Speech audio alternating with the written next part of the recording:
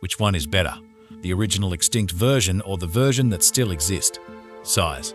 Saber-toothed cats have the size of a lion around 200-400 kg or can be smaller around 100 to 200 kg. Leopards.